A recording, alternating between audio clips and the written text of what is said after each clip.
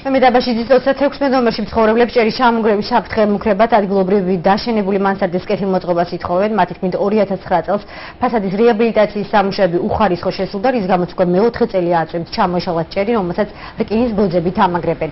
მათგან დამოუკიდებლად შექმნილი პირობების გამო მეზობლებმა დახმარების თხოვნის წერილები ქალაქის მერიაში არაერთხელ დატოვეს, თუმცა მიღებული პასუხების მიხედვით მუნიციპალიტეტში ფიქრობენ, რომ სამუშაოები ჯერ უნდათ არის შესრულებული.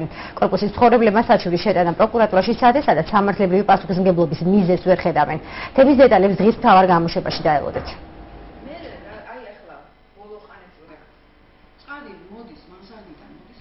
ის კი არ დაწერეს რომ თავიდანვე გაგვიფუჭენ საცხოვრებელ ჩამოგვივარდა ჭერი და საშიშროება კიდე არ ჩამოვარდეს, იმიტომ რომ სამი წელია ეს რკინები შედგმულია იმ შენებლობას დავიწყებ თავიდან, რომ მოვიდნენ 2009 წელს ხელშეკრულებით, უნდა დაეშენებიათ ზევით მანსარდით ჩვენ საცხოვრებელ ფარკზე.